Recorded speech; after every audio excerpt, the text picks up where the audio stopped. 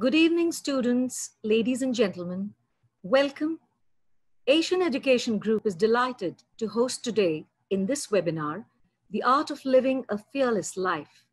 The fighter whose life changed after an acid attack. The fearless challenger, Miss Lakshmi Agarwal.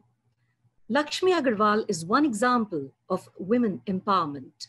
The story of her struggle and fight back from a life-threatening attack is a message for many acid attack victims that the horrific act isn't the end of the world and one should never give up. So much so that her story has inspired a Bollywood film as well. Lakshmi Agarwal का जन्म 1 जून 1990 को हुआ था लक्ष्मी अग्रवाल पर हमला तब हुआ जब वो 15 साल की थीं और दिल्ली में बस स्टॉप पर इंतजार कर रही थी एक कठिन जीवन पोस्ट एसिड अटैक का नेतृत्व करने के बाद लक्ष्मी अग्रवाल ने उन अपराधियों को पकड़ने में कामयाबी हासिल की, जिन्होंने उन पर तेजाब फेंका और उन्हें सलाखों के पीछे पहुँचा दिया। उन्होंने एसिड हमलों के बढ़ने से निपटने के लिए जमीनी स्तर पर अभियान चलाए हैं। उनकी एक अपील ने सुप्रीम कोर्ट को सेंटर और स्टेट गवर्नमेंट्स को एसिड की बिक्री और संसद को एसिड अटैक करने वाले अपराधियों के खिलाफ मुकदमा चलाने में सक्षम बनाने का सुझाव दिया है। वह भारत में एसिड अटैक सर्वाइवर्स की मदद के लिए समर्पित एक एनजीओ छन फाउंडेशन की पूर्व निदेशक भी रही हैं। वह एक टेलीविज़न शो के कुछ एपिसोड भी होस्ट कर चुकी हैं और 2016 में उन्होंने लंदन फ़ैशन वीक में रैम्प वॉक भी किया। उन्हें लगता है कि इन प्लेटफॉर्म्स ने अन्य पीड़ितों को प्रोत्साहित किया है, जो अभी भी दुनिया का सामना करने से डरते हैं। उनके अथक अभियान के कारण कई एसिड अटैक सर्वाइवर्स अपने केसेस को फिर से खोल रहे हैं। 2019 में उन्हें स्टॉप सेल एसिड के अपने अभियान के लिए महिला और बाल विकास मंत्रालय, पेयजल और स्वच्छता मंत्रालय और यूनिसेफ के अंतर्राष्ट्रीय महिला सशक्तिकरण पुरस्कार से सम्मानित किया गया। 2014 में उन्हें यूएस में फ़र्स्ट लेडी मिशेल ओबामा के हाथों अंतर्राष्ट्रीय महिला सम्मान का पुरस्कार मिला। Miss Lakshmi Agarwal Asian education group इस वेबिनार में आपका हार्दिक स्वागत करता है। Welcome thank you so much doctor you welcome ma'am so hello everyone I hope सब लोग बहुत अच्छे से होंगे। और uh, बहुत अच्छे से uh, सुप्रिया मैम आपने मेरा इंट्रोडक्शन दिया। और uh, मुझे इस वेबिनार का एक हिस्सा बनाया। मुझे बहुत खुशी है कि आज मैं यहाँ पे आके एट लास्ट हम लोग कम से कम मतलब आज एंड्रॉइड के थ्रू इंटरनेट के थ्रू एक दूसरे से कनेक्ट हो पा रहे हैं, एक दूसरे को जान पा रहे हैं, समझ पा रहे हैं। I am so happy I am so glad कि मैं आप लोगों के साथ एक हिस्सा बनी और आज मुझे, आज आप लोगों के बीच में बोलने का मौका मिल रहा है कि आज मैं अपनी ज़िंदगी के बारे में यहाँ पे आप लोगों से बात करने आई हूँ। सो so, आपका लॉकडाउन कैसा चल रहा है इस टाइम पे? अभी तक तो वंडरफुल ही है। जी।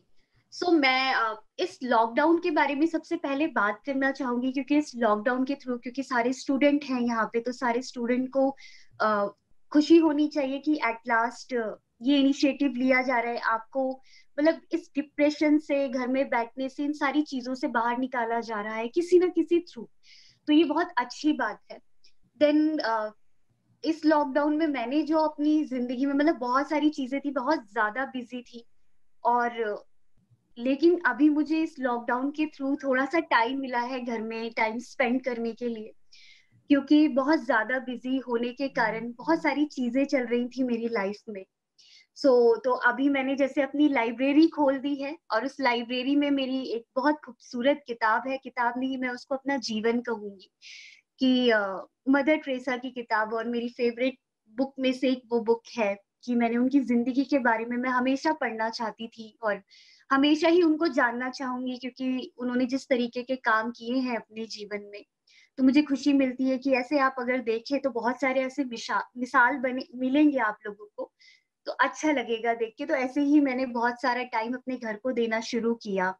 सो so, पेरेंट्स को देना शुरू किया अपनी मेरी मदर है मैं अपनी मदर को बिज़ी होने की वजह से टाइम नहीं दे पाती थी देन लेकिन अभी मैंने उनसे उनकी ज़िंदगी के बारे में जानने की कोशिश की क्योंकि मेरे ऊपर 2005 में एसिड अटैक हुआ था। तो और मैं बहुत छोटी थी और लेकिन आज की जो जनरेशन है देखा जाए बहुत स्पीड आ गया है उनके अंदर और बहुत जल्दी बोलना सीख रही है बहुत जल्दी काम करना सीख रही है।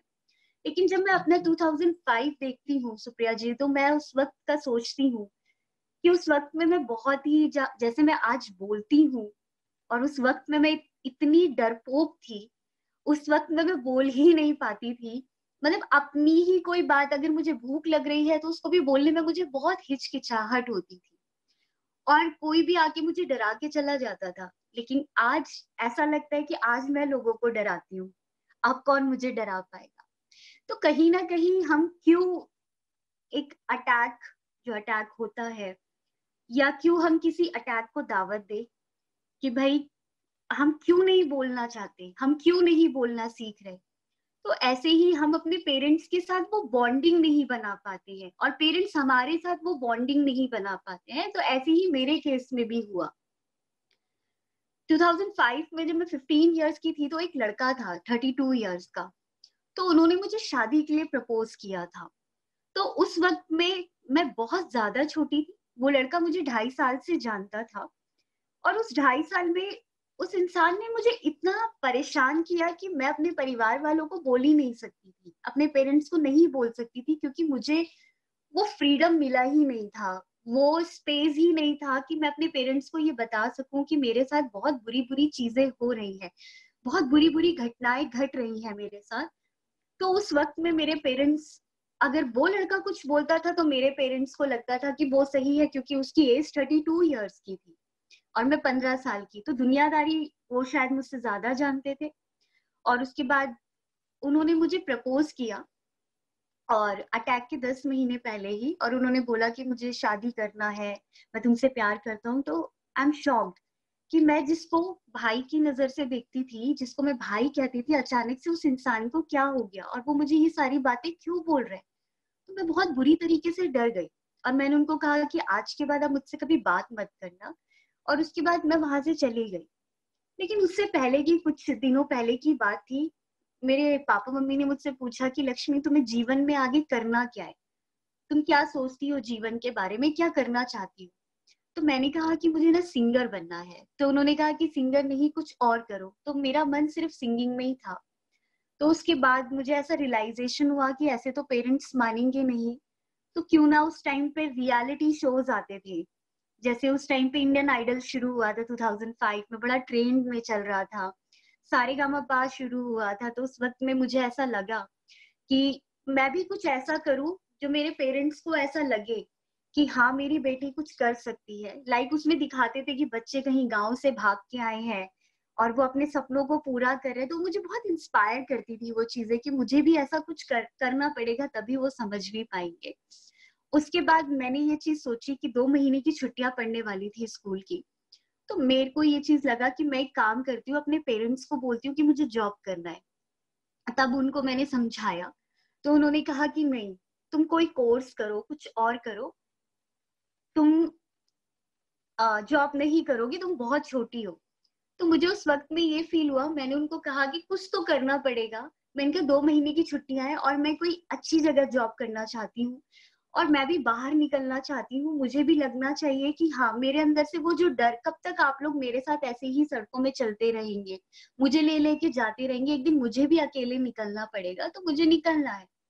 तो उन्होंने मुझसे कहा कि अच्छा ठीक है, ज़्यादा दूर नहीं खान मार्केट में। मतलब उन्होंने बोला कि, बहुत ज़्यादा दूर नहीं जाना है, तुम्हें कहीं आसपास करो।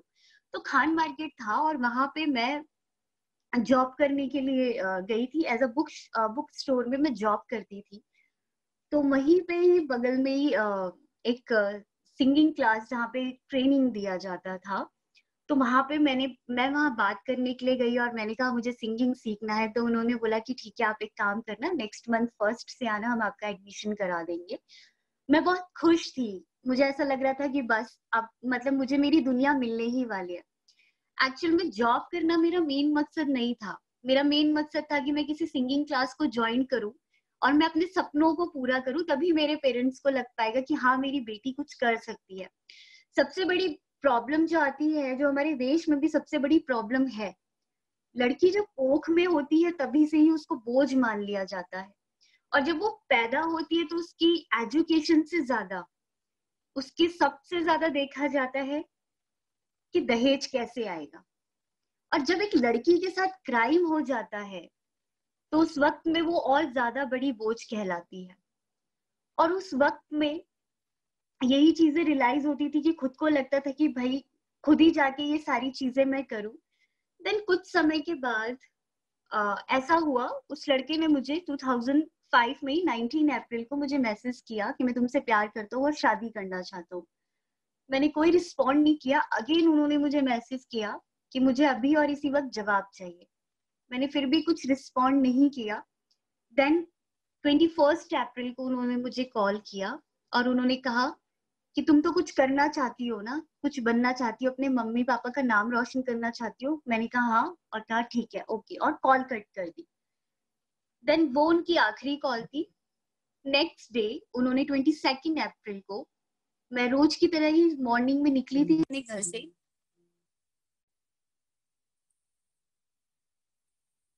मेरी आवाज़ आ रही है आपको? तो मैं निकली थी सुबह घर से तो 10:45 का टाइम था। वो लोग घर से ही मेरा पीछा कर रहे थे। उस दिन ऐसा हुआ था कि जैसे ही मैं निकली थी देन वो लड़का और उनके छोटे भाई की गर्लफ्रेंड दोनों खड़े हुए थे। और उस दिन जब मैं जा रही थी तो वो लेडी मुझे बहुत दूर दूर के देख रही थी। मैंने कहा, क्या जमाना आ गया कि आजकल तो लोग लड़के तो देखते ही देखते घूर घूर के, यहाँ पे लड़कियाँ भी घूर घूर के देखने लगी है। तो ये चीज़ें होने लगी और मैं वहाँ से निकल गई। और वहाँ से निकलने के बाद ऐसा होता है कि अचानक से मैंने उनको देखा ही था फिर सेकंड टाइम देखा और मैं आ, बस स्टैंड के पास आपने जो बताया था कि बस स्टैंड में मैं खड़ी थी बस का वेट कर रही थी ऐसा नहीं था। मैं खान मार्केट जा रही थी बस स्टैंड के पास मेरे ऊपर अटैक हुआ था। तो मैं बस से नहीं जाती थी तो मैं जा रही थी तो अचानक से वो लोग आए और वो लेडी ने मेरे फेस पे हाथ रखा, मुझे ज़मीन पे धक्का मारा और ग्लास में एसिड था और वो सीधे मेरे फेस पे एसिड डाल दिया। उसके बाद वहीं पे मैं बेहोश हो गई और जैसे ही मैं बेहोश हुई और जब मुझे होश आया तो मुझे ये चीज़ फील हुआ कि किसी ने मुझे ज़िंदा आग लगा दिया। और मैं अचानक से बहुत खराब वाला फील कर रही थी, बहुत पेन हो रहा था और मैं तीन बार अचानक से रोड पे गिरी और मेरा कार एक्सीडेंट भी हुआ वहाँ पे। कोई मदद के लिए नहीं आ रहा था और उसके बाद मैं बहुत तड़प रही थी, चीख रही थी। मुझे बहुत, मेरे लिए वो पेनफुल था। उसके बाद फिर ऐसा होता है कि एक अरुण सिंह अंकल थे जिन्होंने ये हादसा पूरा दूर से देखा था। वो आए, उनके पास दो लीटर कोक की बोतल थी, उसमें आधा पानी था और वो पानी लेके आए, उन्होंने मेरे फेस पे जैसे ही पानी डाला तो वो पानी सीधे यहाँ से गिर के वो एसिड में डाइल्यूट हो गया जो मेरे फेस में डला था। और वो मेरे गले के पास आके यहाँ पे पूरा बर्न हो गया। देन फिर पीसीआर बुलाया गया तो मुझे पीसीआर में जब बिठाया जा रहा था और जब मुझे पीसीआर हॉस्पिटल लेके जा रही थी तो मैं देख रही थी कि मेरे दोनों हाथ ऐसे फैले हुए थे। जैसे प्लास्टिक की पॉलिथीन जलती है और वो मेल्ट होती है और उसमें से स्मेल आती है। इसी तरीके से मेरी स्किन मेल्ट हो रही थी। और इसी तरीके से मुझे बहुत स्मेल आ रही थी बॉडी से, मुझे बहुत अजीब लग रहा था और मुझे समझ नहीं आ रहा था कि ये मेरे साथ हुआ देन मुझे जैसे ही हॉस्पिटल लेके गए गवर्नमेंट हॉस्पिटल लेके गए थे और मुझे 20 बाल्टी पानी डाला गया, पूरा नहलाया गया 20 बाल्टी पानी से। उसके बाद जब मेरे पेरेंट्स आए और मेरे पापा ने मुझे गले से लगाया तो उनकी पूरी शर्ट चल गई। बीस बाल्टी पानी डालने के बाद वो इतना हार्मफुल एसिड था। उसके बाद मुझे इमरजेंसी में रखा गया। डॉक्टर्स ने कहा कि मैं नहीं बचूँगी करके क्योंकि बहुत ज़्यादा बर्न हुआ है और बहुत ही सीरियस कंडीशन थी। देन फिर उसके बाद मुझे ढाई महीने गवर्नमेंट हॉस्पिटल में रखा। वहाँ पे बहुत पेनफुल बहुत ही पेनफुल टाइम था वो मेरे लिए।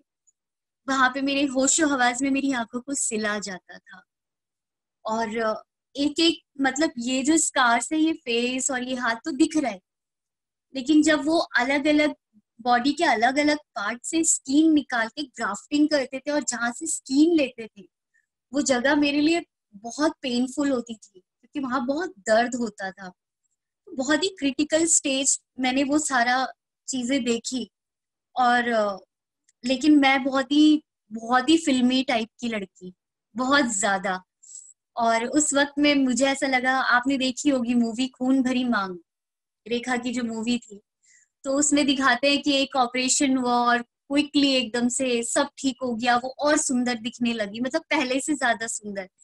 तो जैसा फ़िल्मों में होता है, हम अपने आप को वैसे ही सोचने लग जाते तो वही चीज़ें मेरे साथ भी चल रही थी, क्योंकि मैं भी इसी सोसाइटी से हूँ।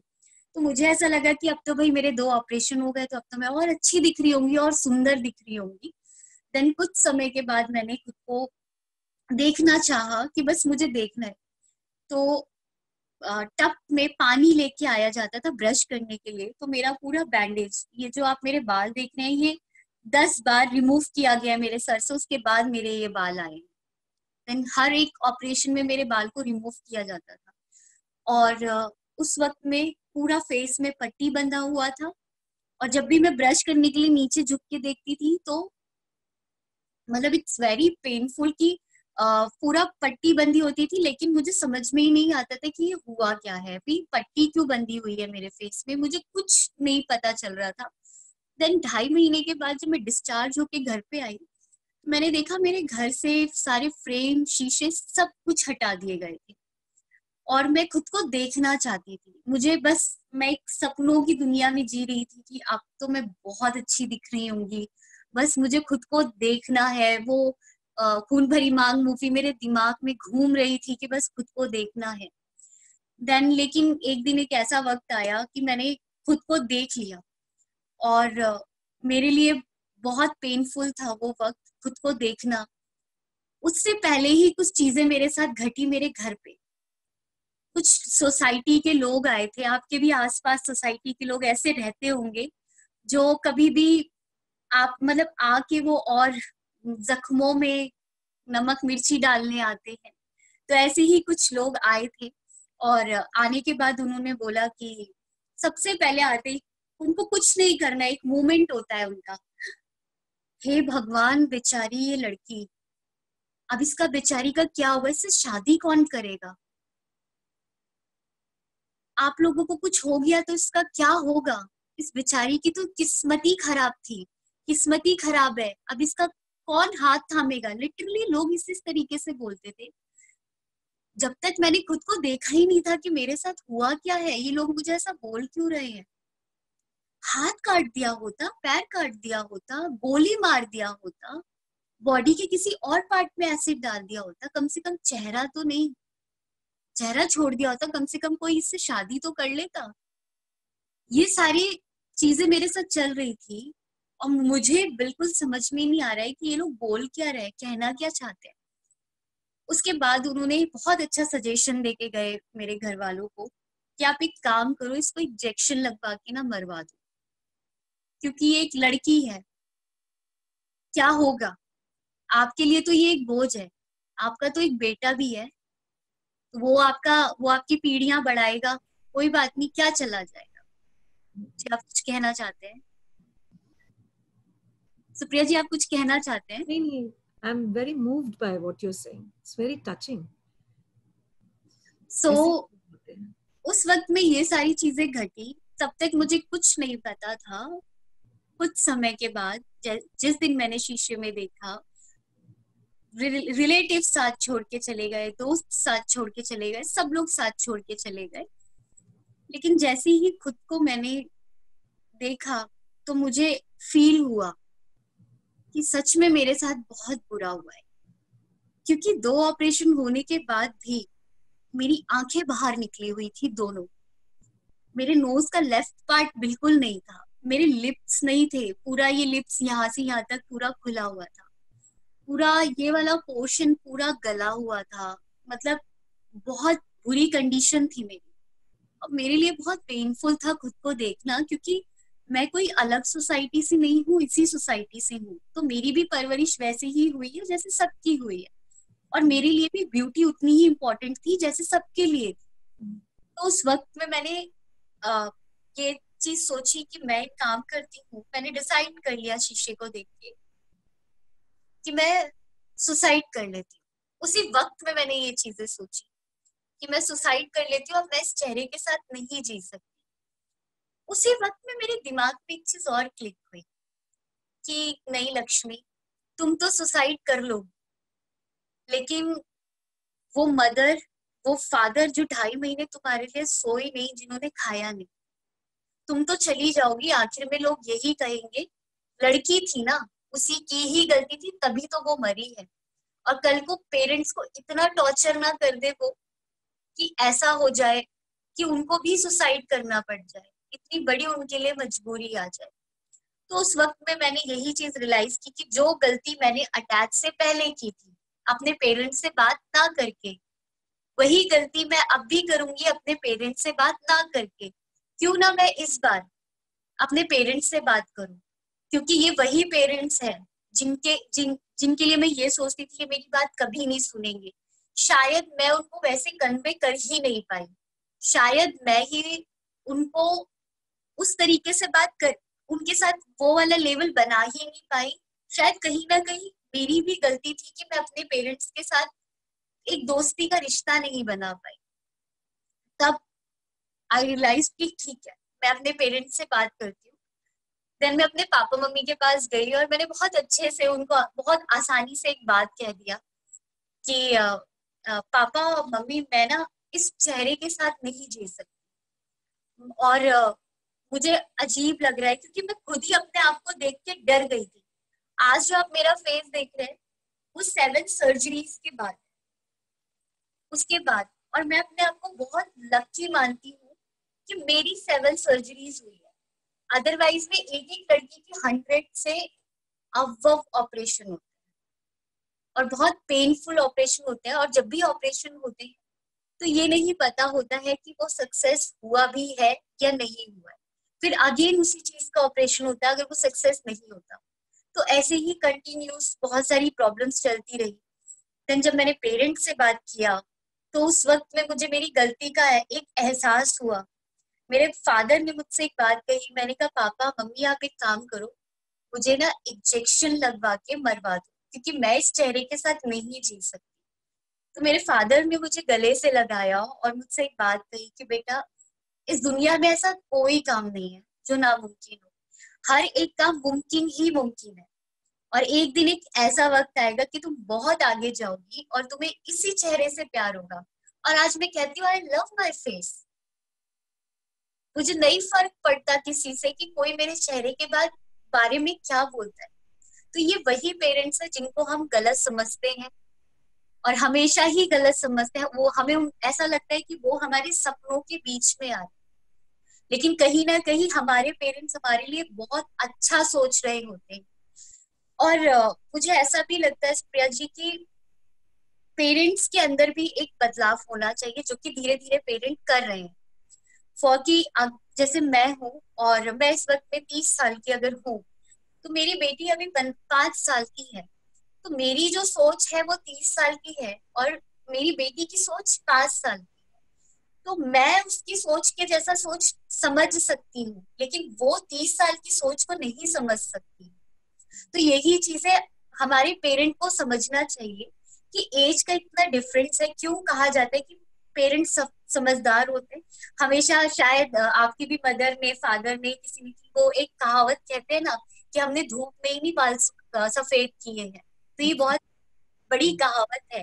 तो ऐसे ही जब अगर आपने धूप में बाल सफ़ेद किए हैं तो आपने ऐसे बहुत सारे किस्से सुने हैं तो वो किस्से अपने घर में मत दोहराइए। तो इसीलिए ये चीज़ इम्पोर्टेंट है कि हम अपने बच्चों के साथ एक दोस्ती का लेवल बना के रखें, ताकि कोई हादसा होने वाला हो, वो हादसा होने से रुक जाए। तो ये इन्वॉल्वमेंट पेरेंट का होना, बच्चों का होना बहुत ज़्यादा ज़रूरी होता है। कई ऐसे केसेस मेरे पास आते हैं, जहाँ पे शायद आपको सुन के हैरानी होगी कि कई फादर ने अपनी बेटियों से एक बात कही। जब लड़कियों ने कहा कि, पापा, हमें वो लड़का परेशान कर रहा है। तो उन्होंने एक बात कही कि तुम्हें इस दुनिया में बहुत सुंदर लड़की नहीं बहुत सुंदर सुंदर लड़कियाँ पढ़ी है। लोग उन्हें तो नहीं परेशान करते, तुम्हें ही क्यों परेशान करते? तो ये सबसे बड़ी प्रॉब्लम है कि जो सवा जो लड़की अपने पिता को एक तरीके से वो अपने पिता को स्पाइडरमैन मानती है, शक्तिमान मानती है।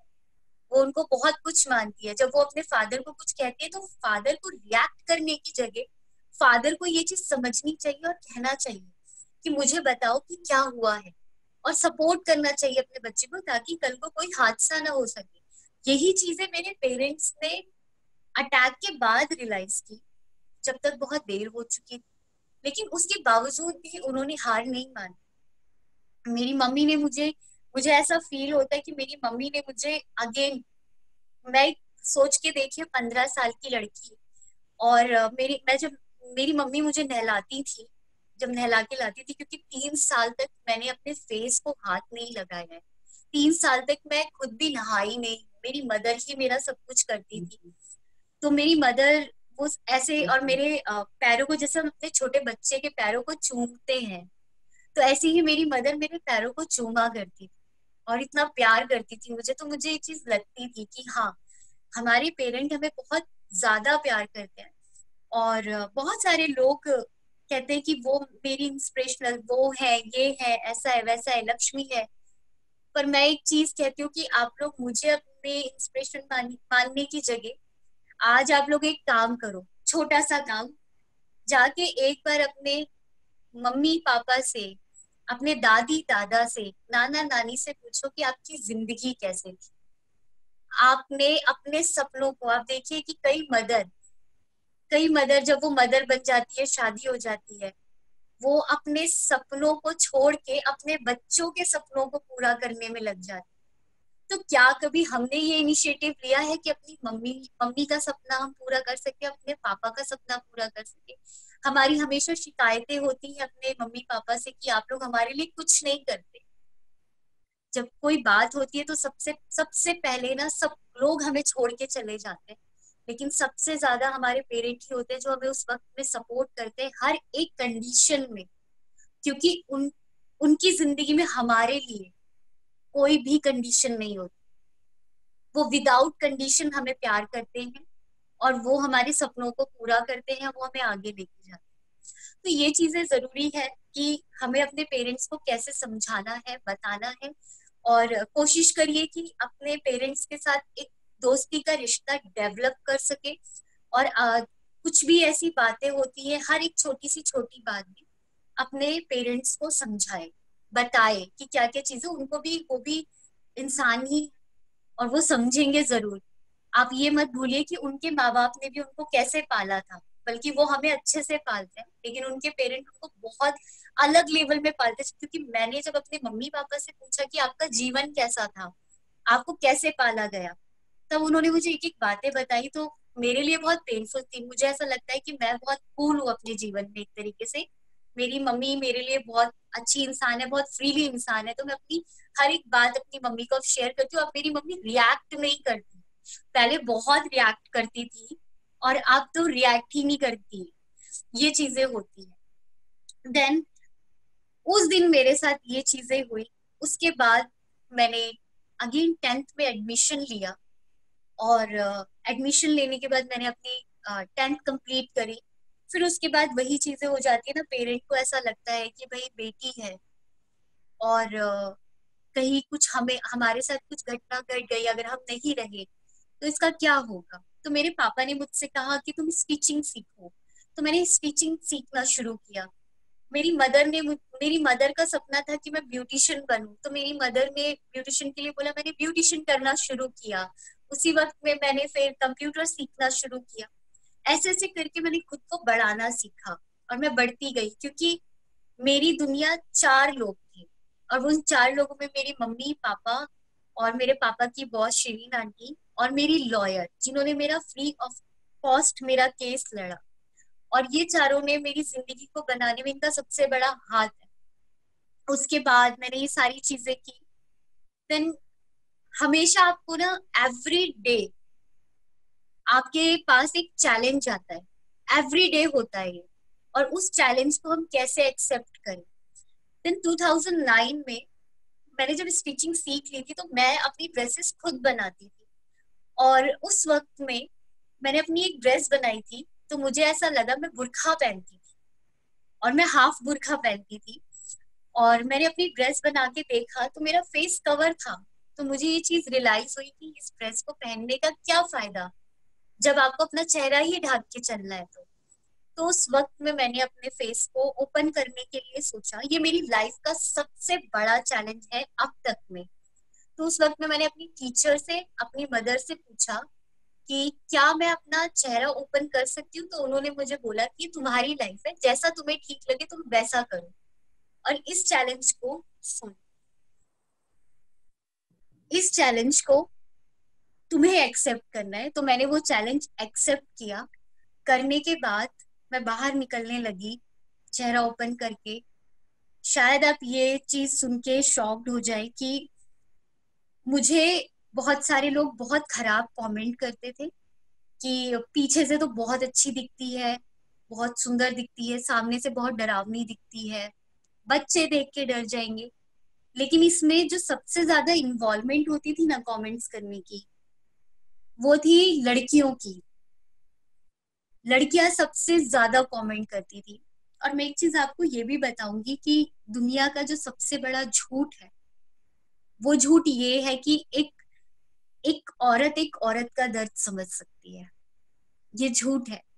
और एक चीज़ और कहूँगी इसमें कि लोग, एक लड़का लड़की जब एक अच्छे दोस्त होते हैं तो लोग कहते हैं कि एक लड़का लड़की कभी अच्छे दोस्त नहीं हो सकते। ये गलत है।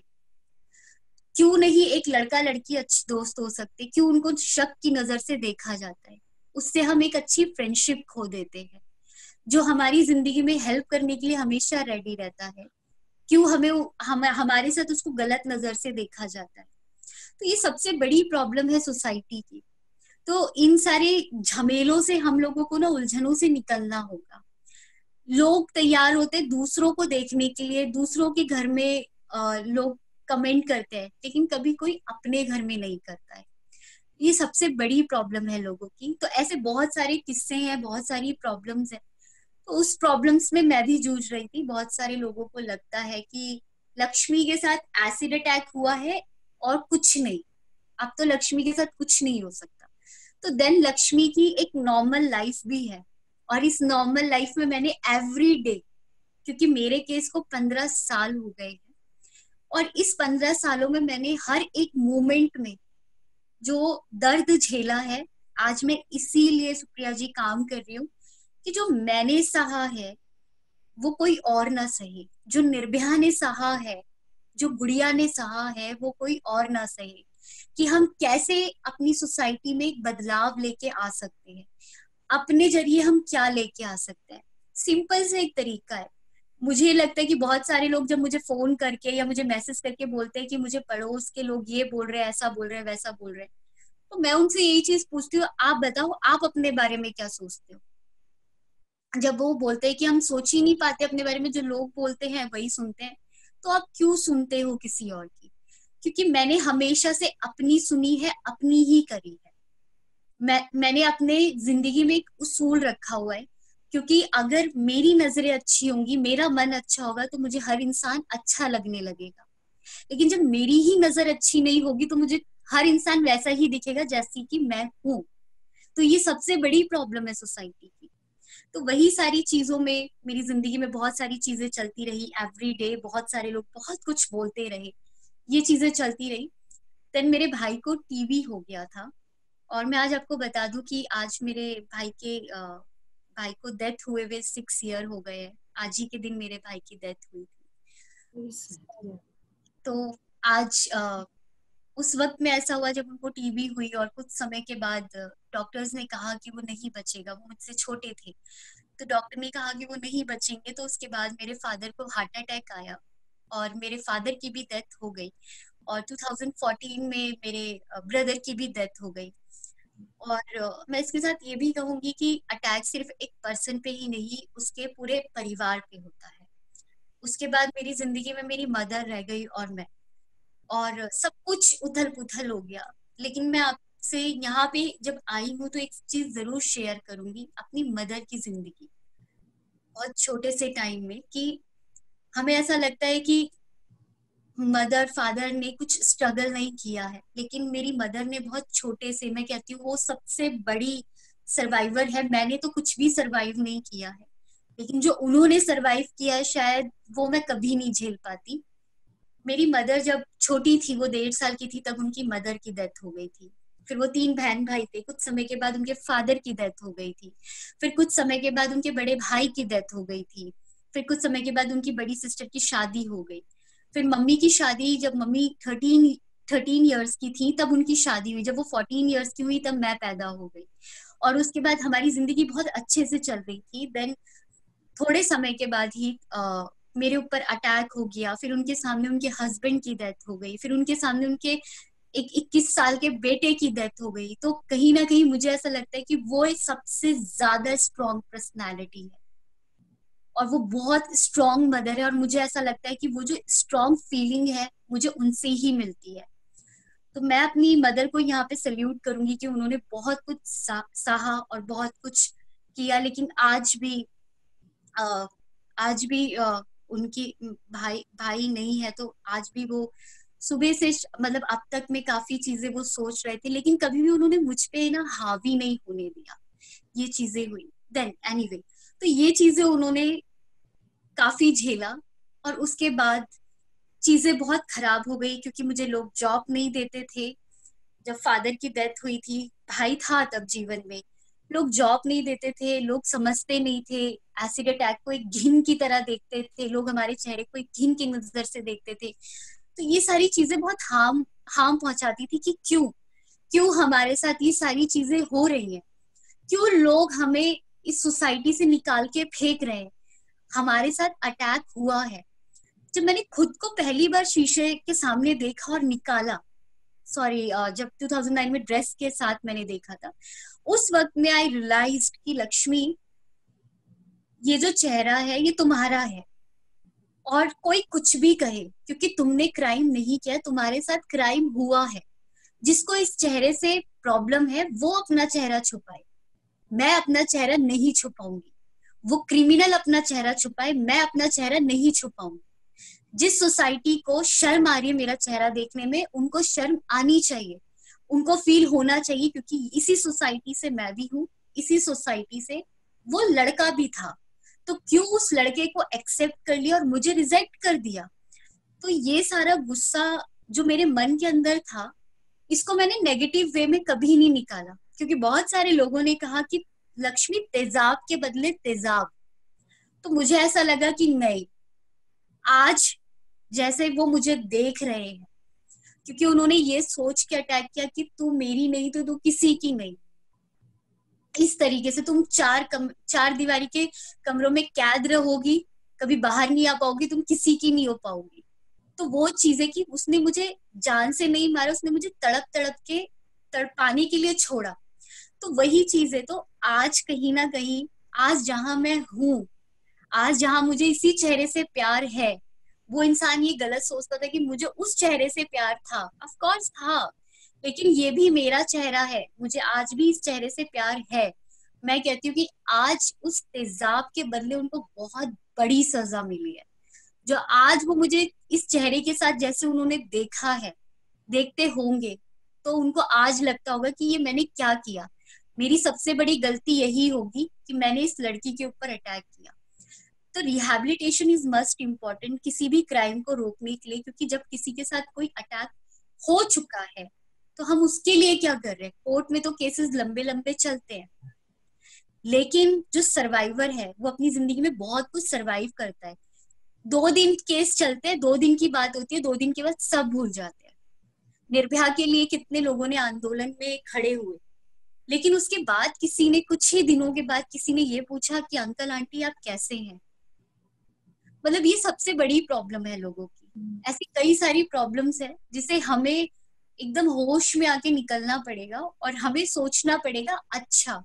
तो इसीलिए मैंने बहुत पॉजिटिव होके सोचा। और ज़िंदगी में अगर आपको आपको लगता है कि मैं ऐसा क्या सोचूं मुझे क्या करना है तो सबसे पहली चीज़ कि आपको पॉजिटिव रहना है। अगर आप पॉजिटिव रहेंगे तो आपको हर एक चीज़ पॉजिटिव लगेगी। तो इसीलिए मैं एवरी टाइम पॉजिटिव ही रहती हूँ। और मुझे सबसे ज़्यादा अगर कोई पूछता है कि तुम्हें सबसे ज़्यादा करने में क्या अच्छा लगता है तो मुझे पॉजिटिव रहने में ज़्यादा अच्छा लगता है। तो ये मेरी ये मेरी एक ऐसी लाइफ है। देन इसके साथ साथ जैसे आपने बताया कि मैं छाव फाउंडेशन में, मैं अभी तक 300 सर्वाइवर्स को रिहेबिलिटेट कर चुकी हूँ। देन मैं इंस्टाग्राम में भी बहुत सारे लोगों को काउंसलिंग देती हूँ। और इसके साथ साथ द लक्ष्मी फाउंडेशन बहुत सारा इनिशिएटिव कर रहा है। डोमेस्टिक वायलेंस पे रेप पे, बहुत सारी चीज़ों पे वर्क कर रहा है। पर अभी हम लोग सारा वर्क ऑनलाइन कर रहे हैं क्योंकि इस इस टाइम पे लॉकडाउन है तो बहुत सारी प्रॉब्लम्स चल रही है। हम लोगों को भी प्रॉब्लम आ रही है किसी को सपोर्ट करने में। तो ये चीज़ें हम लोग कर रहे हैं। देन अगर जो लोग हमसे यहाँ पे भी जुड़ना चाहे, हमारी फाउंडेशन से जुड़ के एज अ वॉलेंटियर वर्क करना चाहे, साथ में काम करना चाहे तो मोस्ट वेलकम कि ज़रूरत है इस देश को। मैं ये नहीं कहूँगी हमारी फाउंडेशन को, मैं ये कहूँगी कि इस वक्त में ज़रूरत है क्योंकि यूथ जो कर सकता है, वो कोई नहीं कर सकता है। तो ये चीज़ें हैं जो हम जिस कॉजेस पे काम कर रहे हैं और बहुत सारे ऑब्जेक्टिव्स हैं जिस पे हम लोग काम कर रहे हैं। और जो सबसे बड़ी चीज़ ये है कि लोगों के जो दिमाग में तेजाब है उस तेजाब को निकालने में हम लगे हुए हैं। जिस दिन लोगों की सोच से दिमाग से तेजाब निकल जाएगा हम्म। उस बहुत कुछ बदलेगा। और उस दिन मुझे ऐसा लगता है पूरा देश बदल जाएगा शायद क्राइम होना ही बंद हो जाएगी। I think I am done Supriya ji. Yeah so I hope मैंने ज़्यादा टाइम ना लिया हो। नहीं नहीं बिल्कुल नहीं एब्सोल्युटली नॉट बहुत अच्छा बोला आपने।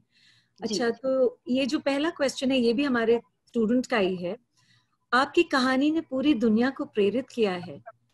इसने इस तरह के कृत्य के प्रति हमारे न्यायिक दृष्टिकोण को भी प्रेरित किया और इस तरह के हमलों को रोकने के लिए नए कानून भी बनाए गए 326 ए और बी जो इसके महान उदाहरण हैं। लेकिन एसिड अटैक को रोकने में ये कितने प्रभावी रहे हैं? देखिए मैं ये कहूँगी कि 2013 से पहले कोई भी नहीं जानता था कि एसिड अटैक वायलेंस है क्या। एक ब्रेकिंग न्यूज़ आता था और उसके बाद खत्म हो जाता था। लोग जानते थे कि डोमेस्टिक वायलेंस क्या है रेप वायलेंस क्या है और वायलेंस एसिड अटैक वायलेंस के बारे में तो कोई भी नहीं जानता था। सबसे बड़ी बात कि जो एसिड अटैक सर्वाइवर्स हैं वो अब निकल के आई है। क्योंकि जब मैंने इस पे काम करना शुरू किया तो बहुत सारी लड़कियाँ ये बोलती थी कि जब हम बाहर निकलते, जब मैं सबसे डिस्कशन करती थी तो यही होता था कि दीदी, जब मैं बाहर निकलती हूँ तो मैं लोगों से यही कहती हूँ कि मैं गैस से चली हूँ, मैं स्टोव से जली हूँ। ऐसे ऐसे करके मुझे बोलती थी। तो मैंने उनको बोला कि क्यों आप ये बोलोगे? आपने कोई क्राइम थोड़ी ना किया आपके साथ क्राइम हुआ है। तो आपको अपनी बात को रखने का पूरा अधिकार है। आप बताओ लोगों को कि आपके साथ क्या हुआ है। एट लास्ट किसी और के साथ ये सारी घटनाएँ ना घटे। तब उन्होंने बोला, ओके। तो लड़कियों ने ना अपनी बात को रखना सबसे पहले शुरू किया। तो लोगों ने समझना, क्योंकि जब हम खुद एसिड अटैक सर्वाइवर्स निकल के बाहर आ रहे हैं, जब कोई इंसान किसी चीज़ से पीड़ित होता है तो जब वो बाहर आके अपनी बात को रखता है, वही इंसान जिसके साथ वो घटना घटी है।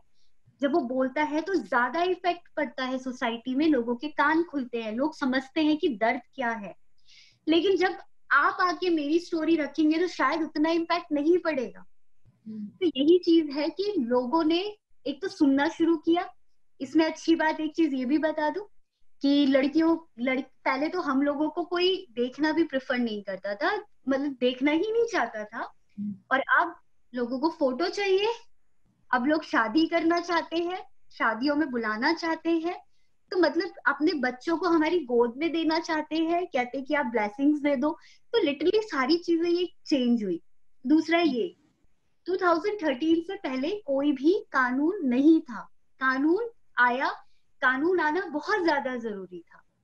तो अब फाइनली कानून आ चुका है, क्योंकि जब जब एक बच्चा पैदा होता है तो उसको धीरे धीरे धीरे धीरे करके बड़े होने में समय लगता है। तो यही चीज़ है कि हम, ये एक नए बच्चे का जन्म हुआ 2013 में, अब वो धीरे धीरे करके वो ग्रो हो रहा है। तो ऐसे ही हम सीढ़ियाँ चढ़ रहे हैं और आगे बढ़ रहे हैं। तो अब आप देख सकते हैं कि कितना ज़्यादा बदलाव आया है और और बहुत ज़्यादा हेल्प मिल रही है। क्योंकि पहले पहले तो कोई आके अपनी टॉक नहीं देता था ना। अगर मैं बाहर नहीं निकल के आई होती तो शायद आज आप मुझसे बात नहीं कर रहे होते। तो ये सबसे बड़ा इम्पैक्ट पड़ा है। जी। ओके अच्छा द नेक्स्ट क्वेश्चन इज़ कि क्या आप खुद को फेमिनिस्ट कहेंगी? नारीवादी? या आपके लिए नारीवाद क्या है? देखिए मैं ना आ, हमारी फाउंडेशन भी जो लड़ाई लड़ रही है वो इक्वालिटी पे लड़ रही है। अगर मैं आपसे ये पूछूँ कि आपको रिस्पेक्ट चाहिए तो आप क्या कहेंगे उस पर मेरा क्वेश्चन आपसे है। ऑब्वियसली चाहिए रिस्पेक्ट ओके okay, तो मैं ये चीज़ कहूँगी कि मुझे रिस्पेक्ट नहीं चाहिए। Okay. इसलिए क्योंकि मुझे हमारी सोसाइटी में इक्वालिटी चाहिए। इक्वालिटी होगी तो रिस्पेक्ट ऑटोमेटिकली मिल जाएगा। लेकिन अगर अगर किसी ऑटो में ट्रक में लिखा हो कि महिलाओं का सम्मान हमारा अभिमान समझ लीजिए वहाँ सम्मान नहीं है। वो सम्मान ही क्या जिसे भीख में मांगी जाए। तो हमें क्यों एक पिता को ये कहने में दुख होता है कि मुझे अपनी बेटी पे गर्व है? क्यों एक पिता ये ये ये क्यों कहते हैं हमेशा कि आ, कि तू तूने वो काम किया जो एक बेटा करता है? क्यों? शर्म क्यों आती है कहने में? तो यही चीज़ें हैं कि हमारी लड़ाई इक्वालिटी पे है। और ये सारी चीज़ें होना बहुत बहुत डिफरेंट है। पर ये चीज़ें है कि हम हम एक सोसाइटी में रह रहे और यहाँ पे लड़ाई सारे जेंडर की है। और बस इसीलिए लड़ाई है क्योंकि जेंडर्स को इक्वल नहीं रखा गया है। हम्म। हमेशा नारीवादी नारीवादी ये सारी चीज़ें। और एक हम्म। चीज़ यहाँ पे और भी कहूँगी कि आ, अगर लड़ाई सिर्फ़ आ, माना कि जुल्म सबसे ज़्यादा लड़कियों पे होते हैं, क्योंकि लड़कियाँ ना बोलती नहीं है, आवाज़ नहीं उठाती है।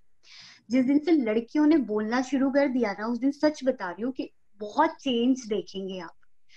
और सबसे बड़ी प्रॉब्लम जो लोगों की ये है कि हमेशा ये कहते हैं कि औरतों पे लड़ाई, औरतों के लिए संस्था खोल देते हैं, महिलाओं के लिए कर देते सबसे ज़्यादा महिलाओं पे कष्ट हो रहा है, महिला ये, महिला वो। अगर हम सिर्फ़ लड़, लड़कियों के लिए लड़ेंगे तो लड़कों के लिए कौन लड़ेगा? क्राइम तो लड़कों पे भी होते हैं दर्द तो बराबर का है। तो इसीलिए हर एक जो चीज़ होती है वो बराबर होना चाहिए। जंग भी बराबर ही देना चाहिए. जी। Okay so you believe in equality? जी। अच्छा अब हमारी एक स्टूडेंट है साइमा जो आपसे क्वेश्चन करना चाहती हैं लक्ष्मी जी। जी Saima. Hello ma'am good evening hello Saima कैसे हैं आप? मैम मैं मैं अच्छी हूँ। Ma'am you are truly an inspiration वाकई। Thank you so much Saima ma'am हम ऐसे दुनिया में जी रहे हैं जहाँ लोग खुद एक दूसरे को नीचे दिखाने के पीछे तुले होते हैं। और इस कहीं ना कहीं हम ये भूल जाते हैं कि सेल्फ लव जो है वो दुनिया का हम भूल जाते हैं। कि दुनिया में सेल्फ लव जो है हाँ. सबसे अच्छा तोहफा है जो हम खुद को दे सकते हैं। मैम आपकी क्या राय है? ऑफ़ कोर्स क्योंकि अब आप देखिए कि मैंने खुद से प्यार किया। साइमा भी आप आ सकते हैं face to face keep video on. हम आ, हम अगर मैंने खुद से प्यार किया है तभी आप लोग मुझसे प्यार कर रहे हैं। क्योंकि जब तक हम खुद से प्यार नहीं करेंगे तो कोई हमसे प्यार करेगा ही नहीं। क्योंकि हम हमेशा ये सोचते हैं कि कोई और ही आके हमें प्यार करेगा, वो प्यार होता है। इवन आपने शायद मेरा उसमें देखा हो कपिल शर्मा के शो में, वहाँ पे भी मैंने यही सारी बात बोली थी। देन सेल्फ रिस्पेक्ट बहुत इंपॉर्टेंट है सेल्फ लव बहुत इंपॉर्टेंट है। तो खुद से प्यार करिए। देखिए आपको लोग, जिन, आप जो सोचते हैं ना कि वो इंसान भी मुझे प्यार करे मैं हंड्रेड परसेंट कह रही हूँ जिस दिन आपको खुद से प्यार हो गया ना जिसको आप पसंद करते हैं ना वो पक्का आपसे प्यार करेगा ये हंड्रेड परसेंट है। आई होप आपको मेरा आंसर आपको आपका आंसर मिल गया हो। I think that was a wonderful answer अच्छा लक्ष्मी जी लोग अक्सर कहते हैं ये भी स्टूडेंट का एक क्वेश्चन है कि देखो ऐसे लोग भी हैं जो तुमसे भी बदतर हैं। खुश रहा करो कोई बात नहीं ठीक है? मतलब क्या ये मुसीबत पीड़ा में किसी को शांत करने का अच्छा तरीका है? किसी को प्रेरित करने के लिए दुख की तुलना, क्या ये नैतिक रूप से सही है? देखिए, पता है क्या होता है? लोग हमेशा ना क्या करते हैं? हमेशा ऊपर देखते हैं। अब किसी ने सलमान खान को देख लिया, किसी ने शाहरुख खान को देख लिया, ठीक है, किसी ने ऐश्वर्या राय को देख लिया। अब खूबसूरती में कई सारे लोग ये बोलते हैं कि, अरे, मैं तो मोटी हूँ वो कितनी स्लिम है, मेरा कलर ब्लैक है, वो कितनी गोरी है, वो कितनी ब्यूटीफुल है, और देन ये सारी चीज़ें होती है। तो अब जब आप अपने से ऊपर देखेंगे तो आपको प्रॉब्लम होगी ही होगी। लेकिन, जब आप उन लोगों को देखेंगे जो सड़कों में रहते हैं, जिनको ये नहीं पता कि मेरी कल सुबह होगी भी या नहीं। मैं भी उदाहरण देती हूँ लोगों को, ऐसा नहीं है। मैं भी ये बात बोलती हूँ कि अगर कुछ लोग ऐसे होते हैं जो तीन रोटी जिनको दो रोटी की भूख होती है और तीसरी रोटी को वो कूड़े के डब्बे में फेंक देते हैं हम्म। उनको मैं एक बात कहती हूँ कि जाके देखो उनको ये एक रोटी के लिए अगर आप ये एक रोटी दोगे वो चार लोग चार टुकड़े करके खाएँगे इसको हम्म। और यहाँ पे आप क्या कर रहे हो इतना है तो आप जाके देख के आया करो तो ये चीज़ें हैं ऑफ़ कोर्स बताना चाहिए ताकि सामने वाले के जो मन में जो एक अपने लिए एक बहुत एक होते कुछ लोग होते हैं जिनको अपने आगे कुछ नज़र नहीं आता है तो ऑफ़ कोर्स बताना चाहिए कम से कम उस इंसान की आँख खुलेगी तो वो जाके उस इंसान की मदद करके आएगा जिसको हमारी ज़रूरत है we have Sarika now, Lakshmi ji. Sarika, are you there? Sarika. Good evening ma'am hi Sarika कैसे हैं आप? मैं अच्छी हूँ। आप कैसे हो? आपके सामने हूँ। Ma'am my question to you is आप बहुत बार हेयरिंग्स में गए कोर्ट हेयरिंग्स में एंड आई नो वहाँ पे सब कुछ बहुत डिफ़िकल्ट होता होगा बट स्टिल आपको किस चीज़ ने इतना मोटिवेट किया कि आपने कभी हार नहीं मानी? मैंने जैसे पहले बताया पेरेंट्स ने। क्योंकि हम्म। जिस वक्त में मैं जब वहाँ जाती थी कोर्ट में तो उस वक्त पेरेंट्स भी साथ होते थे। जितना पेन मुझे था तो अफकोर्स उतना पेन उनको भी था। तो उस वक्त में जब हम जाते थे इवन मैं आपको ये भी बताऊँ कि मुझसे जज ने एक बात कही थी कोर्ट में कि ये ना आज भी तुमसे शादी करना चाहता है। तो उस वक्त में मतलब किसी को पता नहीं था कि मैं क्या आंसर दूँगी।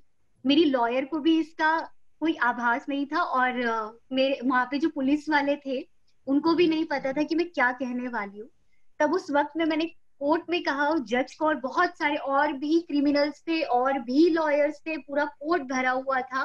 तब मैंने बोला था कि इस इंसान ने ना मेरा चेहरा बदला है, दिल नहीं बदला है। कल भी ना थी और आज भी ना है। मुझे शादी का कोई इससे इंटरेस्ट नहीं है तो मुझे नहीं करना। तो उस वक्त में ये जो अंदर हिम्मत आई थी, वो पेरेंट्स को देख के आ रही थी कि वो भी मेरे साथ मेरे बगल में खड़े हुए हैं। और मुझे पूरा सपोर्ट कर रहे हैं तो वो थे मेरे हिम्मत Got your answer, Sarika? Uh-huh. Yes. Okay. All right. Uh, जैसा कि हम सभी जानते हैं हमारे समाज में कुछ ऐसे लोग हैं जो इतने भयावह अपराधों के से जो बच के लोग जो निकल के आते हैं उनके प्रति उनके कोई भी संवेदनशीलता नहीं होती है क्या हम्म। आपको लगता है कि उनका सामना करना महत्वपूर्ण होता है? और क्या आप ऐसे लोगों से निपट पाती हैं? किनका सामना? क्या किस टाइप के लोग? सॉरी मैं समझ नहीं पाया जो आ, जो लोग इस तरह के अपराधों से बच के निकल के आते हैं उनके प्रति नॉर्मली लोग बहुत कंपैशनेट होते हैं।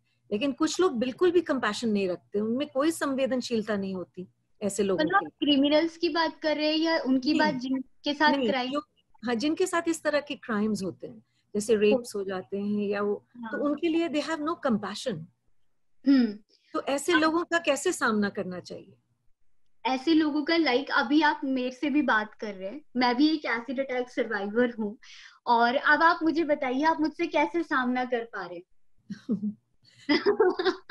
नहीं जो लोग जो लोग नेगेटिव सोचते हैं ऐसे लोगों के बारे में ऑफ़ कोर्स uh, हाँ। क्या होता है सॉरी मैं इंटरप्ट कर रही हूँ क्या होता है कि ऑफ़ कोर्स शुरू शुरू में नेगेटिविटी होती ही होती है और मैं इसको गलत नहीं मानूँगी। क्योंकि उस वक्त में उनके साथ इतना बड़ा हादसा हुआ होता है कि उनको किसी पे विश्वास नहीं होता है। हम, क्योंकि बहुत सारे केसेस हैंडल करते हैं तो मुझे खुद जाके उनका जो विश्वास है वो जीतना पड़ता है कि मेरे साथ भी हुआ था, आप मुझ पर ट्रस्ट कर सकते हो और मैं आपको कई ऐसे लोग हैं जो उनका फ़ायदा भी उठाते हैं। और ये सारी चीज़ें मैं देखती हूँ अपनी फ़ील्ड में कि बहुत बहुत किसी के दुख का फ़ायदा उठाना बहुत रॉन्ग वे है। हम्म। ये चीज़ें यही मैं पूछ रही थी आपसे। जी तो ये चीज़ है कि हम कोशिश करते हैं कि जब कोई क्राइम होता है ना तो हम या कोई ऐसा पर्सन उन तक पहुँच सके जो उनकी फ़ोटो लेके सोशल मीडिया में डाल के सहानुभूति और ये सारी चीज़ें इकट्ठा ना करे। पहले हम्म। उस इंसान को उसकी सोच को पॉजिटिव करे। उसके हम्म। बाद उसको इतना उसके लिए निर्भर उसको उसके लिए निर्भर बनाए। और मैं विक्टिम वर्ड के खिलाफ हूँ। हम्म। किसी को जब विक्टिमाइज करते हो ना तो वो विक्टिम बन जाता है। उसके बाद क्या होता है फिर वो बहुत सारे ऐसे लोगों के साथ काम किया मैंने कि उनको सिर्फ़ चाहिए होता है। कुछ लोग ऐसे जो सिर्फ़ देते हैं जिनको मतलब नहीं होता दे भी और गेट लॉस्ट ये हम्म। लेकिन उनको नहीं पता। इसीलिए हम्म। मैं डोनेशन से ज़्यादा बिलीव करती हूँ कि मेहनत के पैसे पे। For hmm. एग्ज़ाम्पल मैंने लोगों के लिए बहुत सारे लोग कहते हैं कि हम सर्वाइवर को डोनेशन देना चाहते हैं। तो मैं उनसे रिक्वेस्ट करती हूँ कि आप डोनेशन मत दीजिए। आप उस लड़की को या उस लड़के को एडॉप्ट कर लीजिए। और अडॉप्ट करने के बाद उसको आपको अपने घर में ही लेके जाना सिंपल तरीका है। उन उसका जो ड्रीम है उस लड़की का उस लड़के का वो डांसर बनना चाहता है सिंगर बनना चाहता है इंजीनियर बनना चाहता है डॉक्टर बनना चाहता है पढ़ना चाहता है टीचर बनना चाहते हैं तो आप एक काम करिए उसको कोर्स कराइए और स्टडी कराइए बाकी हम आपको बताते रहेंगे मंथली आप उसकी फ़ीस पे करिए। हम्म। उसके बाद हाँ जहाँ पे उसको ट्रीटमेंट की ज़रूरत है तो आप ज़रूर पे करिए। लेकिन जहाँ पे नहीं है आपने उसको दो लाख तीन लाख दे दिया और उसमें वो खर्च कहाँ करे? नहीं पता। लेकिन अगर आपने एक इंसान को एजुकेट कर दिया तो हम्म। सबसे पहली चीज़ वो किसी पे निर्भर नहीं रहेगी ना रहेगा। दूसरी चीज़ ये वो खुद भी कमा के खाएगा और खिलाएगा भी। वो किसी पे बोझ नहीं कहलाएगा। हम्म। तो चीज़ें हम लोग करते हैं। Lakshmi ji Prateek is here ji. Prateek Chaudhary good evening ma'am hello Prateek कैसे हैं आप? मैम बहुत अच्छा हूँ और मुझे बहुत ज़्यादा वॉल बहुत सुंदर है। थैंक यू मैम ये मेरा पुश्तैनी घर है। मैम आपकी स्टोरी ने मुझे काफ़ी आज टच किया है और इंस्पायर किया है। पर मेरे मन में एक सवाल था जो कि थोड़ा लॉ से रिलेटेड था। 2013 में जब से सुप्रीम कोर्ट ने गाइडलाइंस निकाली हैं कि एसिड की खरीदारी पे रोक लगाई जाए ताकि एसिड अटैक जैसे क्राइम को जड़ से मिटाया जाए। उसके बावजूद भी क्यों हम ऐसे लॉज को ढंग से इम्प्लीमेंट नहीं कर पा रहे हैं? और अगर इनमें कुछ भी बदलाव लाना चाह रहे हैं तो वो क्यों नहीं हो पाता है? और आपके हिसाब से ऐसे कौन से बदलाव हैं जो हमें आज भी जिनकी ज़रूरत है?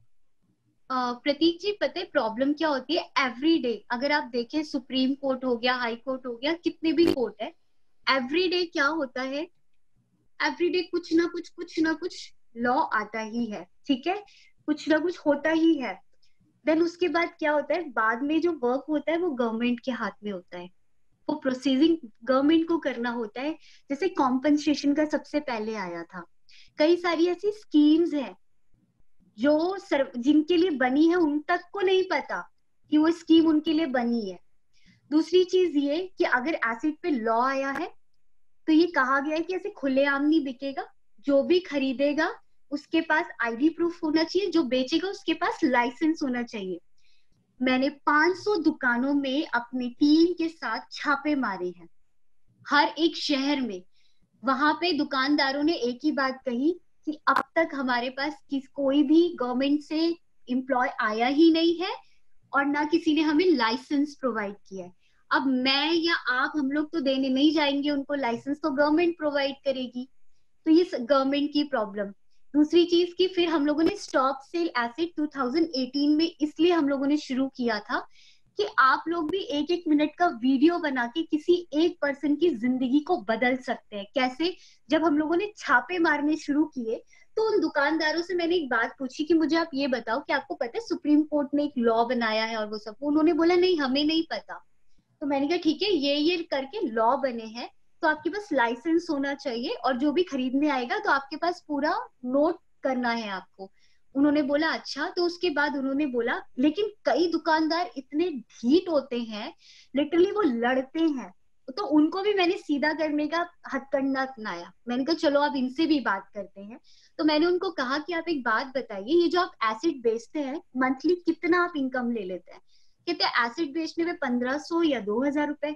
मैंने कहा, आपको पता है ये एसिड जब घरों में जाता है तो क्या होता है? वो कहते हैं, कुछ नहीं होता, मैं हाथ में डाल के दिखाऊँ? मैंने कहा, नहीं, आप पी के दिखाइए इसको। तो उन्होंने कहा कि, अगर मैं पीऊँगा तो मैं मर जाऊँगा। मैंने कहा, आपको अपनी फ़िक्र है, लेकिन जिस घर में ये बीस रुपए का, पंद्रह रुपए का एसिड जा रहा है, आपको उस घर की फ़िक्र नहीं है। आप एक नागरिक है और आपका एक फ़र्ज़ है। आप दुकानदार है, आपका फ़र्ज़ है कि आपको इस चीज़ को रोकना चाहिए। आपको ऐसे केमिकल तो बेचने ही नहीं चाहिए जहाँ पे चार चार साल का बच्चा मर जाए। उनका आपको पता है कितने सारे केसेस हुए हैं। देन लास्ट ईयर जनवरी में एक लड़की थी ग्यारह साल की। उसकी ही दोस्त एसिड वो पानी समझ के नॉर्मल बॉटल में ब्रिस्लरी के बॉटल में पानी था। पानी नहीं था सॉरी एसिड था। वो पानी समझ के वो ले गई स्कूल उसकी दूसरी सहेली ने बोला कि मुझे पानी पीना है, प्यास लगी है। उन्होंने वो बॉटल दे दिया और उस लड़की ने 11 साल की बच्ची ने वो पानी की जगह एसिड पी लिया और उसकी वहीं पे डेथ हो गई। तो इसका जिम्मेदार कौन है? हमारा कानून। अब एक चीज़ मैं आपको बताती हूँ जो अभी कल फैजल सिद्दीकी ने किया अगर आप लोगों ने देखा हो हम्म। जो आ, कर रहे थे वो जिस तरीके से उन्होंने वीडियो बनाया तो हाँ जी तो उसमें जब मैंने ऑब्जेक्शन उठाया बहुत सारी चीज़ें मेरा उस वक्त में यही चीज़ मेरे दिल में हिट किया, मेरे दिमाग में हिट किया कि जो केसेस होते हैं, क्या उसके लिए लोग इस तरीके से खड़े नहीं हो सकते हैं क्या? तो क्राइम होना ही बंद हो जाएँगे। पता है, कानून हमें पता है, लेकिन हम खुद भी कानून को नहीं अप्लाई करते। ये सबसे बड़ी प्रॉब्लम है। अगर मैं आपको कहती हूँ, आपको एक ज़िम्मेदारी देती हूँ, प्रतीक जी, की आप वहाँ पे आपके आसपास जो शॉपकीपर है, आप उनसे पूछिए कि क्या आपके पास तेजाब है? जब वो बोलेंगे हाँ है। तो आप उनको फ़ोटो दिखाइए एसिड अटैक सर्वाइवर्स की। बोलिए कि आप बेचना बंद करिए, वरना मैं पुलिस को बोल दूँगा, छह महीने का जेल और पचास हज़ार का जुर्माना होगा आपके ऊपर। वो बंदा एसिड बेचना बंद कर देगा। हमने ऐसे जिन लोगों ने शपथ ली है कि हम एसिड नहीं बेचेंगे, हमने 500 शॉपकीपर को सर्टिफिकेट दिया है कि उनका शपथ पत्र, जब हम, मुझे लगता है जब मुझे अवार्ड मिल सकता है तो उन शॉपकीपर को क्यों नहीं हम प्रमोट कर सकते, क्यों नहीं आगे बढ़ा सकते? तो हमने ये इनिशिएटिव लिया। तो हमारा भी एक अधिकार है उस कानून को हम कैसे लोगों तक पहुँचा सके, क्योंकि आपको कानून के बारे में पता है। तो शायद आपके आसपास बहुत सारे ऐसे शॉपकीपर है जो पढ़े लिखे नहीं है, जो सिर्फ़ सुबह दुकान खोलते और शाम को चले जाते हैं और फिर सो जाते हैं थक के। तो आप उनकी मदद कर सकते हैं। जी। आस्था, are there Astha Gupta hello Astha hello ma'am. It's an honor having you with us. You're such an inspiration. Thank you so much.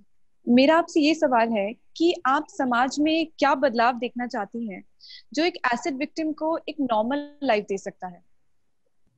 पहली चीज़ तो जो आपने विक्टिम वर्ड यूज़ किया पहले तो मैं ये हटाना चाहती हूँ लोगों के दिमाग से कि विक्टिम किसी को बोलना ही नहीं है। सबका एक अपना नाम है तो उसको नाम से ही पुकारा जाए तो वो ज़्यादा अच्छा होगा। तो। आपका सेकंड सवाल क्या था?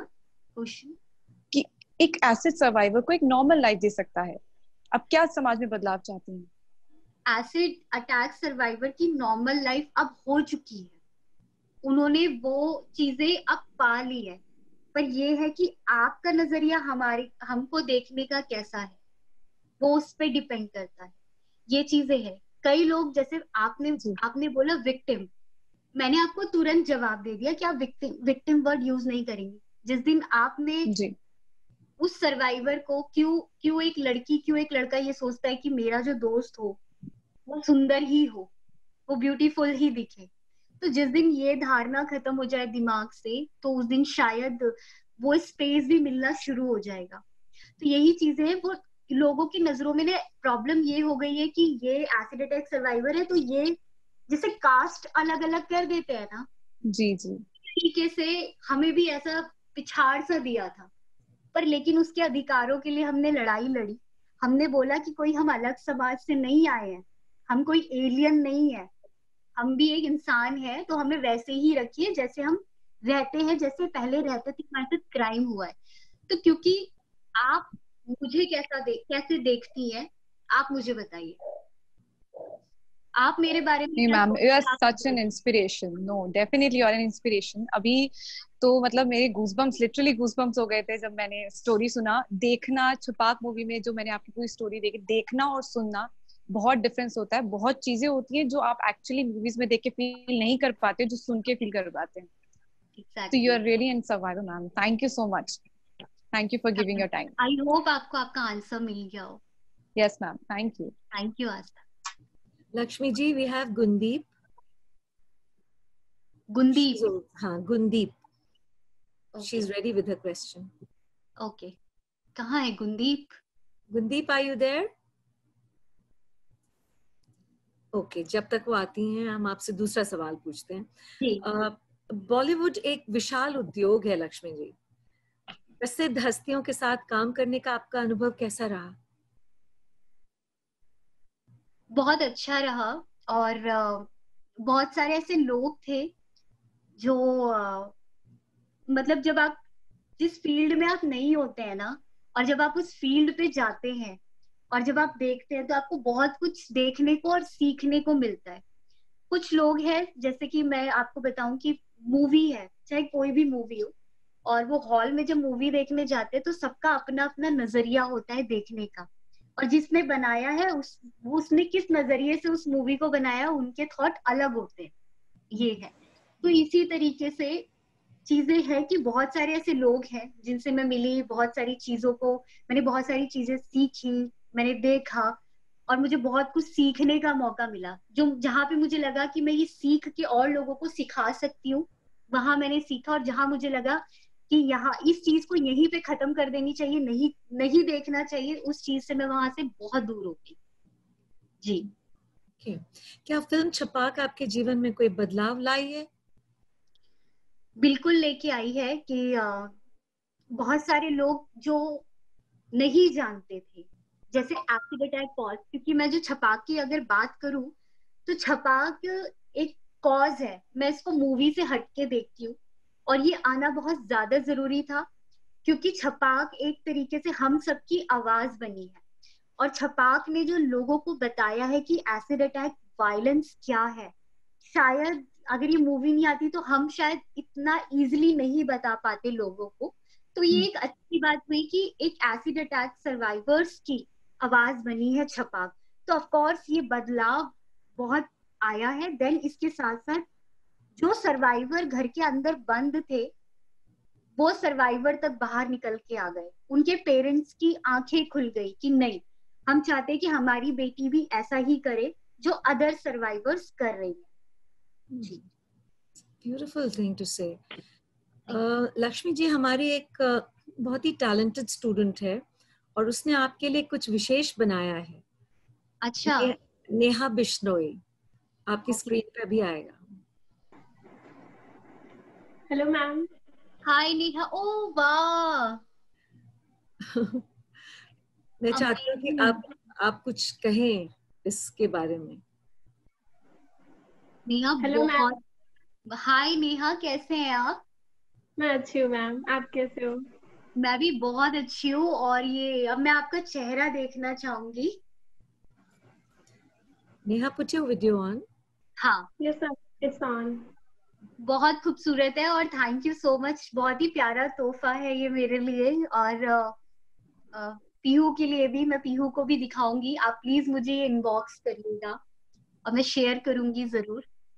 आप आप ही की आप आप ही की तरह आपका आर्ट बहुत खूबसूरत भी है। Thank you ma'am as a token of love and respect ma'am ये मेरी तरफ़ से आई विश कि मैं आपको ये रियल में दे पाती। अभी कोई बात नहीं मैं लेने आऊँगी ज़रूर। हाँ ऑफ़ कोर्स जब लॉकडाउन खत्म होगा आप डेफिनेटली आइएगा। आपको ओपन इनविटेशन है। Thank you thank thank you Neha बहुत खूबसूरत तोहफा था। थैंक यू मैम बहुत खूबसूरत आर्ट है। लक्ष्मी जी क्या आप कोई मैसेज एशियन एजुकेशन ग्रुप को देना चाहेंगी?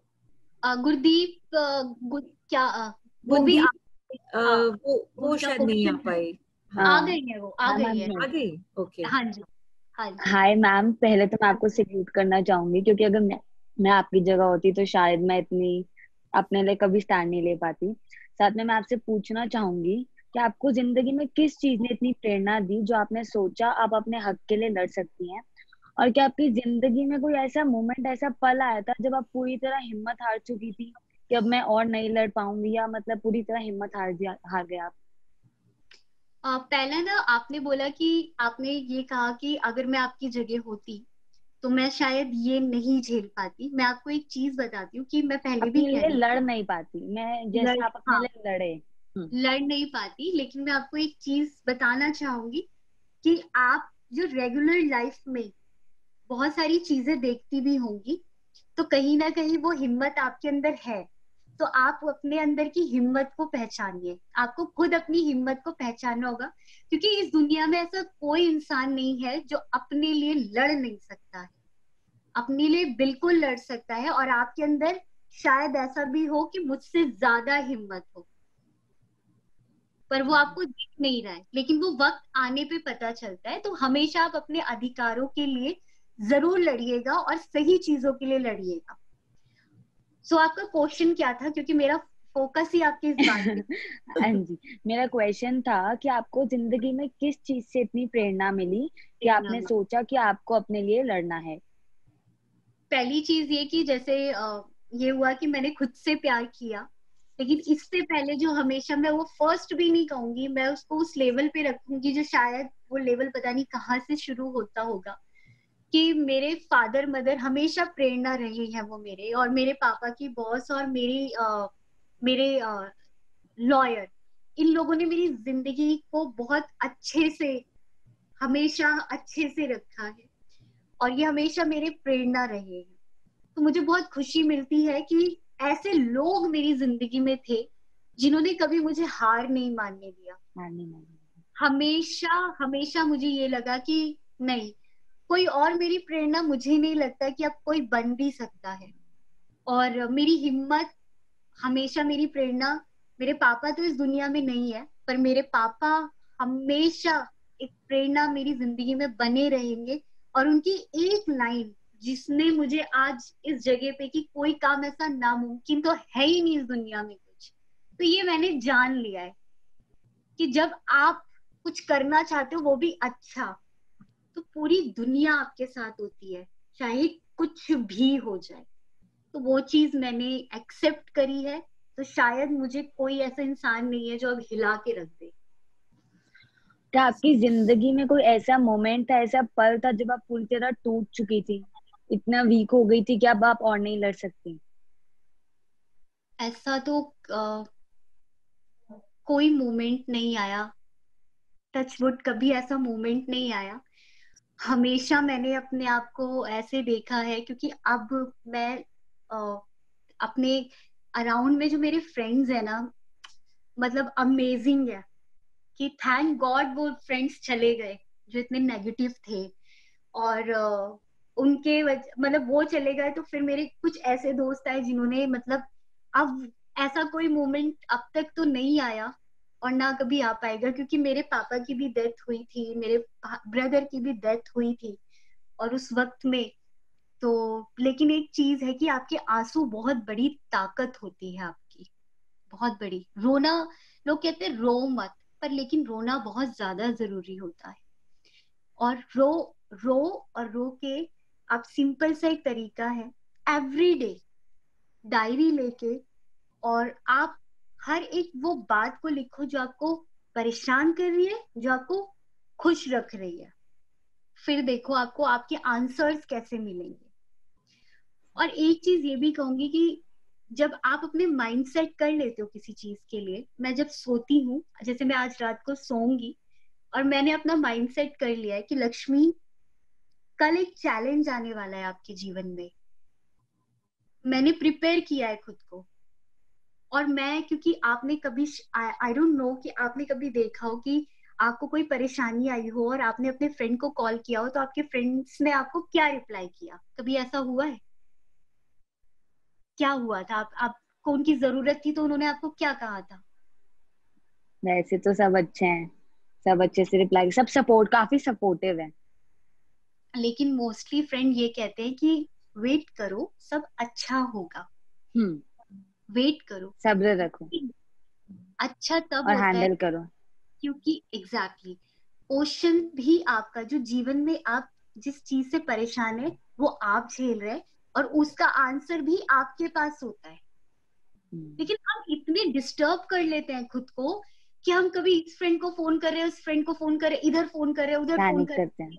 अपडेट कर दे रहे हैं इंस्टाग्राम में अपडेट कर दे रहे हैं feeling alone why feeling alone कुछ फीलिंग अलोन टाइप की चीज़ें नहीं होती है। बल्कि हर कोई चाहता है कि थोड़ा अलोन रहे। देन उस वक्त में जो आपको एक महीने के बाद आपका रिप्लाई मिलेगा ना नॉर्मल हो गए कूल हो जाओ, एकदम कूल हो जाओ और उस सिचुएशन में, क्योंकि जो सिचुएशन है वो है और आपको हैंडल करनी आपको मैं बता दू फोर डेज़ में वन मंथ में फोर डेज़ में या टू डेज़ में आपकी प्रॉब्लम आप खुद शॉर्ट आउट कर सकते हैं। अगर आप चाहे तो।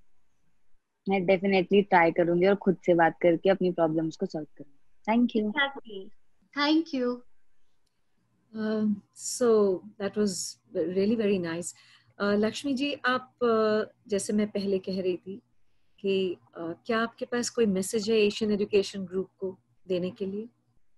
ऑफ़ कोर्स uh, क्योंकि लॉकडाउन चल रहा है और आप लोग यूथ हैं तो आप लोग uh, क्योंकि आपके पास एक ताकत है जहाँ पे आप पढ़ रहे हैं आप एक बहुत अच्छी गैदरिंग में हैं और बहुत मज़बूत है आपके टीचर्स है आपके पेरेंट्स है आपके पास एक कहीं ना कहीं एक मज़बूत लाठी है आप सब लोग तो आप सब लोग कोशिश करें कि उन लोगों को मदद करने की जिनको एक्चुअल में नीड है। और आप लोग जितना पॉजिटिव रह सकते हैं और कोशिश करिए कोई acid attack survivor rape survivor domestic violence survivor या आपका फ्रेंड वो कोई भी हो, जब वो डिस्टर्ब चल रहा हो तो आप उसको सपोर्ट कर सके फ़ोन को साइड में रख के। क्योंकि ये एंड्रॉइड ज़िंदगी के लिए अच्छा है तो बुरा भी है। कहीं ना कहीं हम अपने फ़ोन के वजह से भी ना, अपने रियल फ्रेंड्स को नहीं जान पा रहे।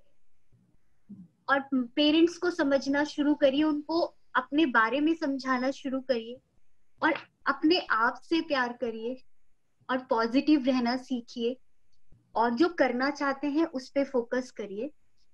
कंपटीशन मत करिए। कंपटीशन करना है तो पॉजिटिव करिए। पॉजिटिव कंपटीशन होगा, देखिए, जिसको टॉप करना है वो करेगा, क्योंकि उसने मेहनत करी है। जिसको फ़र्स्ट आना है वो आएगा, क्योंकि उसने मेहनत करी है। अगर आप कंपटीशन में अपना एग्ज़ाम देंगे तो आपके हाथ कांपेंगे। लेकिन आप कूल होके एग्ज़ाम देंगे तो आप नॉर्मल होके काम करेंगे। वही आंसर वो सारी चीज़ें आपको रियलाइज़ हो देन बहुत सारे स्टूडेंट है जो डिप्रेशन में आ जाते हैं और सुसाइड कर लेते हैं। डिप्रेशन भी ना एक टॉय की तरह होता है। मेरा मानना ये है कि एक टॉय की तरह होता है। जैसे डॉक्टर्स कहते हैं ना कि मेडिसिन तो हमने दे दी और अब दुआ की बारी है आपको दुआ करनी। तो मैं आपसे रिक्वेस्ट करूँगी डिप्रेशन है ना आजकल छोटे छोटे बच्चे I don't believe Supriya ji कि लोग ऐसे बोलते हैं कि uh, मुझे डिप्रेशन है मुझे समझ में नहीं आ रहा मुझे डिप्रेशन हो रहा है मुझे आपको पता है कि डिप्रेशन होता क्या है? आपको यही नहीं पता कि डिप्रेशन होता क्या है बस आपको डिप्रेशन है। तो आप अपने पेरेंट को भी कन्वे करें कि जो एग्ज़ाम है और एग्ज़ाम को इतना हावी ना करे कि हाँ कि नहीं, मुझे करना है तो मुझे करना है और उसमें इतना हार्म पहुँचता है जब सुनने में आता है कि स्टूडेंट ने एग्ज़ाम की वजह से कुछ गलत कदम उठा लिया। तो बेटर देन कि पॉजिटिव रहिए और पॉजिटिव रह के एग्ज़ाम को दीजिए और अच्छे से अपने जीवन को चलाइए क्योंकि आपको लगता है कि आप जिससे प्यार करते हैं वही है आपके जीवन में। लेकिन आपको नहीं पता कि आपको कितने लोग प्यार करते हैं। तो जो आपके लिए आपको प्यार करते हैं ना उनके लिए जीना सीखिए। उनके लिए नहीं जिनको आप प्यार करते हैं। क्योंकि जिनको आप प्यार करते हैं वो हमेशा आपको मानना है। मिस लक्ष्मी आपकी आवाज़ में इतना सुकून है। आप एक बहुत ही खूबसूरत इंसान है। एक एजुकेशन ग्रुप आज आपकी उपस्थिति और आपके कीमती समय के लिए आभारी है और आपके साहस और आपके खिलाफ जो घातक अपराध से लड़ने के लिए आपका दृढ़ संकल्प है उसकी सराहना करता है। ईश्वर आपको हमेशा प्रेरित खुश धन्य और आपके ही वर्ड्स में पॉजिटिव बनाए रखे। एशियन एजुकेशन ग्रुप आपके लिए यही कामना करता है। Thank you so much Lakshmi thank you so much घर में रहिए सेफ़ रहिए और सबको अच्छे मैसेज देते रहिए. Thank you thank you very much thank you